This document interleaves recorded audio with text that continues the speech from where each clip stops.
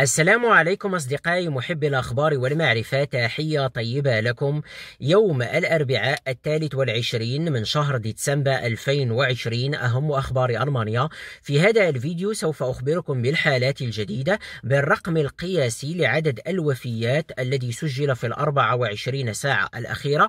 أيضا سوف أجيبكم على آه، بعض الأسئلة التي طرحها عدد كبير من الأصدقاء. هل السفر خارج ألمانيا ممنوع؟ هل ألمانيا تخطط إلى غلق حدودها مع الدول الأوروبية أو حتى غلق مطاراتها مع العالم كي نعطي الطمأنينة للناس الذين عندهم سفريات ضرورية.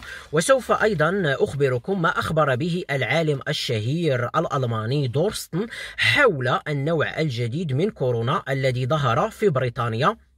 وهل هو خطير أم أنه يشبه, يشبه النوع الحالي كي نعطي الطمأنينة بطبيعة الحال للجميع. المهم أصدقائي في الأربع وعشرين ساعة الأخيرة سجلت أربع وعشرون ألف وسبعمائة وأربعون حالة جديدة. توفي 962 شخصا في ال 24 ساعة الأخيرة وهو رقم قياسي لعدد الوفيات في ألمانيا لم تعرفه ألمانيا من قبل. بذلك تصل الحالات الإجمالية في ألمانيا منذ ظهور هذا الوباء إلى مليون وخمسمائة وسبعون ألف وثلاثمائة وواحد وسبعون حالة. شفي من بينهم مليون ومئة وواحد وسبعون ألف وخمسمائة شخص وتوفي ثمانية وعشرون ألف ومئة وثمانون شخصا. الآن سوف نجيب على سؤال يطرحه عدد كبير من الأصدقاء. هل السفر خارج ألمانيا مسموح ممنوع؟ هل الحكومة الألمانية سوف تغلق المطارات قريبا سوف يمنع الطيران؟ لأنه هذا السؤال آه، دائما أقرأه عندي بالتعليقات وعدد كبير من الناس يسألونه. أبدا أصدقائي الحكومة الألمانية لا تفكر ولا تخطط لغلق الحدود مع أي دولة أوروبية وألمانيا لا تفكر ولا تخطط إلى غلق المطارات. بطبيعة الحال ألمانيا أغلقت مجال الطيران على ثلاث دول هي بريطانيا هي إيرلندا وجنوب إفريقيا. السبب هو أن هذه الثلاث دول منتشر فيها النوع الجديد آه، آه، لكورونا. بكثرة. لذلك ألمانيا أغلقت مطاراتها وطيرانها مع هذه الثلاث دول والغلق سوف يستمر إلى غاية يوم 6 واحد 2021 وبعد ذلك سيرجع الطيران بشكل عادي مع هذه الدول. هل ألمانيا تخطط أيضا إلى الغلق طيرانها مع دول أخرى؟ لا أبدا. المؤشرات الحالية لا تظهر بأن النوع الجديد لكورونا منتشر في دول أخرى. بذلك ألمانيا لا تخطط ولا تتكلم ولا تدرس الغلق غلق الحدود. يعني الحدود مع الدول الأوروبية أو المطارات الألمانية مفتوحة أصدقائي. هل السفر مسموح خارج ألمانيا؟ هذا السؤال يسأله عدد كبير من الأصدقاء. السفر عموما داخل ألمانيا أو خارج ألمانيا غير مرغوب فيه.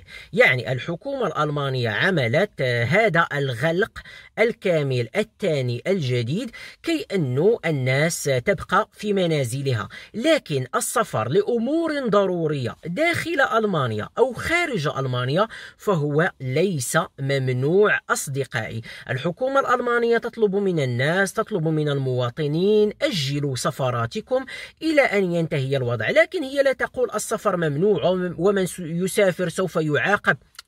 السفر غير ممنوع لكن غير مرغوب فيه. يعني إذا عندكم أمور ضرورية يمكنكم أن تسافروا داخل ألمانيا محطات القطار مفتوحة آه، آه، الأوتوبان بالسيارة مفتوح المطارات مفتوحة والطيران ممكن أصدقائي. إذا آه، السفر غير ممنوع وإذا عندكم شي سفرة ضرورية يمكنكم أن تسافروا لن يمنعكم أحد لكن الحكومة الألمانية تطلب من الناس عدم السفر والبقاء في بيوتها. لا تنسوا أصدقائي أنه إذا سافرتم خارج ألمانيا وعند العودة إلى ألمانيا ضروري أن تدخلوا إلى الحجر الصحي. قبل ذلك ضروري أن تبلغوا قسم الصحة Gesundheitsamt أن تتسجلوا على موقع آه، أصدقائي أونلاين موقع حكومي ألماني. بأنكم كنتم خارج ألمانيا ولكل مقاطعة هناك قوانين خاصة بالحجر الصحي فلا تنسوا هذا الأمر. واسألوا على إجراءات الحجر الصحي في مقاطعتكم أصدقائي. هناك مقاطعات تفرض الحجر الصحي من أول يوم قضاه الشخص خارج ألمانيا وهناك مقاطعات تقول يومين أو ثلاثة أو بداية من أربعة أيام. المهم الأمر الخاص بالحجر الصحي يجب أن تسألوا عليه وتتأكدوا من عند أصدقائي قسم الصحة Gesundheitsamt الذي سوف يعطيكم بطبيعة الحال الإجراءات الصحيحة الخاصة بدخولكم في الحجر الصحي كي لا تتعرضوا إلى غرامات أو إلى عقوبات أصدقائي. قبل السفر خارج ألمانيا إذا آه، ضروري أيضا أصدقائي أن تسألوا على إجراءات تلك الدول لأن كل دولة عندها إجراءات خاصة بها وقوانين خاصة بها قوانين الحجر الصحي قوانين القدوم من ألمانيا. يعني إذا وجدتم إذا عندكم سفر سفرية ضرورية خارج ألمانيا فاسألوا على كيف تتعامل مع تلك الدول مع القادمين آه، القادمين من ألمانيا. يعني هل أنتم مجبرين على أن يكون عندكم فحص أن يكون عندكم كذا كذا كذا؟ فاسألوا أيضا على قوانين تلك الدول لكن المطارات مفتوحة لا يوجد تخطيط لغلق المطارات لا يوجد تخطيط لغلق الحدود أبدا ونهائيا. أصدقائي ونتمنى السلامة للجميع. يعني نصيحة مني أنا لكم أيضا إذا عندكم شي سفرة ضرورية لا يمكن تأجيلها فسافروا لكن اسألوا على القوانين. إذا السفرة يمكن تأجيلها وليست ضرورية فأجلوها أصدقائي إلى أن يتحسن الوقت وإلى أن يأتي فصل الربيع أو يأتي فصل الصيف وإن شاء الله يمكن أن تسافروا. أنتم أحرار وقرروا ما يناسبكم أصدقائي. لكن آه لكن الحكومة الألمانية فقط تقول أجلوا السفر ولا تسافروا وابقوا في بيوتكم لكن لا يمنع شيء الآن سوف نمر إلى النوع الجديد من كورونا الذي ظهر في بريطانيا هل هذا النوع خطير؟ ماذا يقول عنه العلماء؟ العالم الألماني السيد دورستن وهو عالم ألماني مشهور عالم في مجال الفيروسات يعطي الطمأنينة حول النوع الجديد لكورونا الذي ظهر في بريطانيا ويقول لا داعي للقلق من هذا النوع الجديد. طبعا يجب مراقبة الوضع. قال بأن هذا النوع الجديد على الأغلب ظهر منذ مدة يعني هو ليس حديث العهد. يقول بأنه على الأغلب ظهر منذ شهر, تس... شهر تسعة من هذه السنة أن كورونا طور نفسه وطور جيناته وظهر. وقال بأن هذا النوع كان منتشرا أصلا منذ شهر تسعة في بريطانيا لكن الناس لم يحسوا به. ولم يعرفه إلا الآن إلا عندما انتشر بقوة. وقال بأنه أغلب الآن من يتم فحصهم في بريطانيا 70% يحملون إلى هذا النوع الجديد. وقال بأنه يظن أيضا بأن ألمانيا وبعض الدول الأوروبية أيضا منتشر فيها هذا النوع لكن لم يظهر بعد.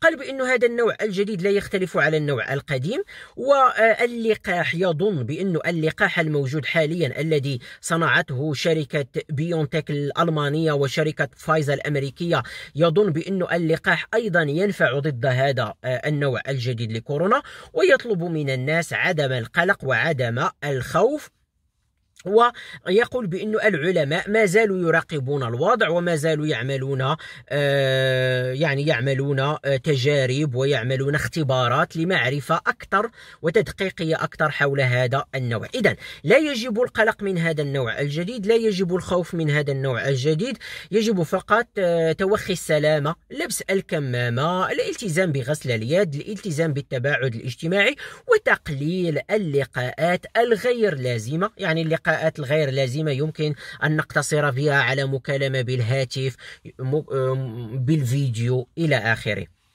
وإن شاء الله سوف يكون الخير بإذن الله. أحببت من خلال هذا الفيديو أن أقربكم حول هذه المسائل كي لا ينتشر الخوف كي لا ينتشر القلق وكي نعطي آه، الطمأنينة للناس بأن الوضع بإذن الله نتفائل الوضع سوف آه، يمشي إلى الخير بإذن الله. هذا ما نتمنى أصدقائي. أشكركم جدا على المتابعة. شكرا لكم. السلام عليكم. إلى اللقاء.